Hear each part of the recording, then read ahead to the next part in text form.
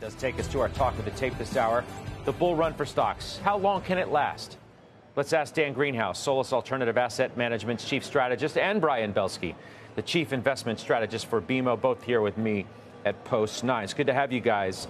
Um, Dan, I'll, I'll, begin with you. Let, us just react to the Fed chair um, because the market really didn't love what he had to say in, in terms of the space, uh, the size, of the rate cuts that we, we think that we're going to get, right? He sort of tamped down expectations that it's just going to be, hey, let's just set it on 50 basis points next meeting and the one thereafter, and then we're good. That's not really what he said. No, I, I mean, I read the speech on the way over here, and I don't think he really said very much at all. Um, listen, I think the important thing for investors at home, and this can't be said enough, and I've said it plenty, but it bears repeating. The important thing for investors at home to remember is that 25 versus 50 didn't matter last time. 25 versus 50 doesn't matter next time. The path is clear. The Fed is on the uh, on the on. Uh, is in the process of reducing interest rates by call it another one to 200 basis points by the end of next year. That more than any interval or any specific meeting is what matters. You're shifting from an environment where the Fed was getting constrictive, was staying constrictive,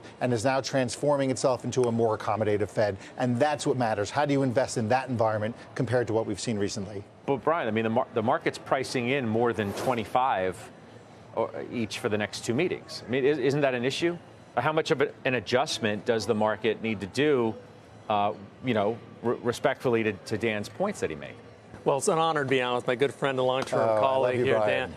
Um, you know, listen. I wish we could start just one of these without that. Not. Let's just. can we just please answer the question? Well, listen. So uh, we didn't we didn't know it was going to be 25 or 50 when we upgraded our number. We just know, like Dan said, that the trend is your friend. The trend is your friend in terms of the the trend of the Fed. That's number one. Number two I really believe, and we've been saying this now for two years, we'll probably say it again for our forecast next year, that we are on a path to normalization. What does normalization mean?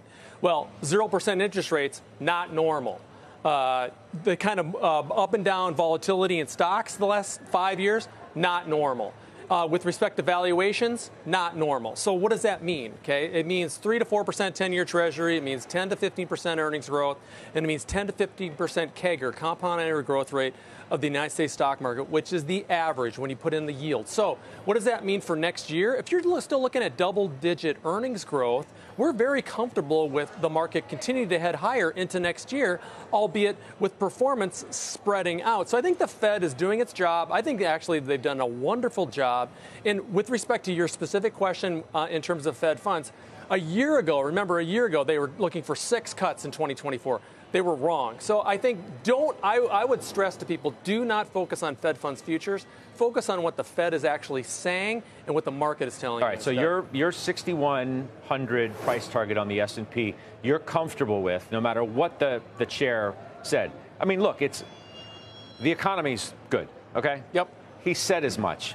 Now, yields are moving up, I think, in, in respect to that comment and also the fact that, okay, so they're not going to be as aggressive as perhaps the market seems to, to still be pricing in.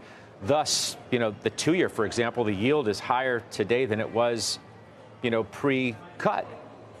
That speaks to don't listen to the Fed funds futures, and they have to they have to build rebuild their credibility. I think Scott, and I know that I say this like I said this before, but this is 1995 96 all over again. We're heading back into that environment.